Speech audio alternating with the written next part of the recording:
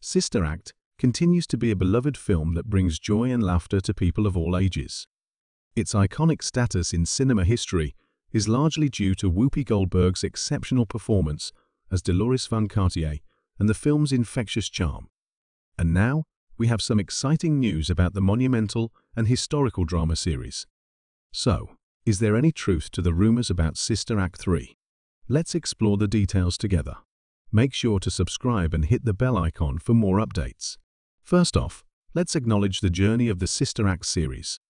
The sequel, Sister Act 2, Back in the Habit, released in 1993, was a notable example. However, Goldberg initially expressed disapproval for a third Sister Act movie, despite it being the 20th anniversary of the beloved film. She had concerns about the project's viability without the whole cast, but her stance eventually changed in 2017. This sparked hope and excitement among fans, but it would take another year for the project to gain momentum. Finally, in 2018, it was confirmed that a Sister Act 3 was in the works. So, we can confidently say that the third installment of the series is coming soon.